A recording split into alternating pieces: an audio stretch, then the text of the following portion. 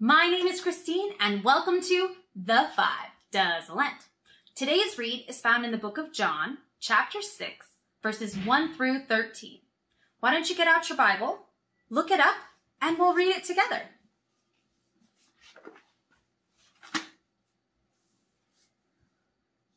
Have you got it? Awesome.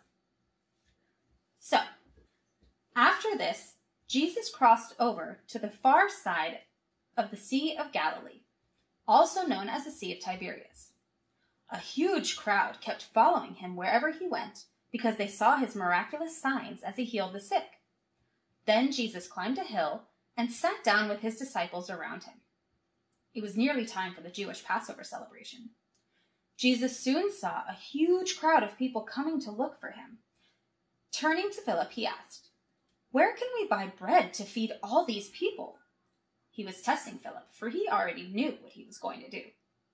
Philip replied, Even if we worked for months, we wouldn't have enough money to feed them.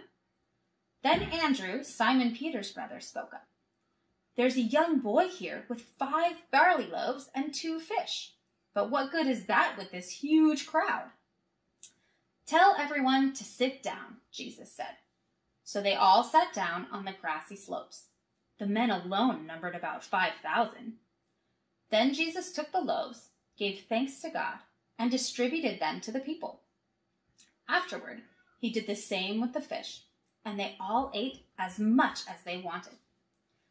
After everyone was full, Jesus told his disciples, Now gather the leftovers so that nothing is wasted.